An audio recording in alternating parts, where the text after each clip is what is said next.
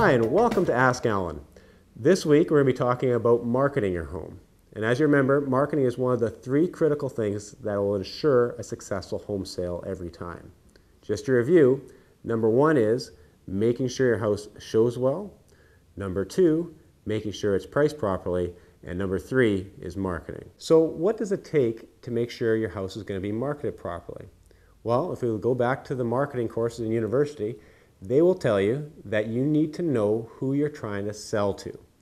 And in housing, 90% of the buyers that are going to come to your house are going to be way of a real estate agent. So this means that you need to be focusing your marketing efforts on realtors out there, not so much the general public as a lot of people think. The other 10% of the market comes from more traditional advertising, and that's going to be your print media, your online presence, TV advertising. 90% of these buyers, however, are online looking. So again, really important if you're looking to market your house successfully is looking how good your online presence is going to be. Now what's important in online presence?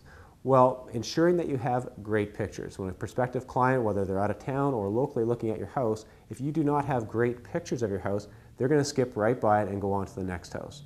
Next is having a, either a virtual tour or a video tour.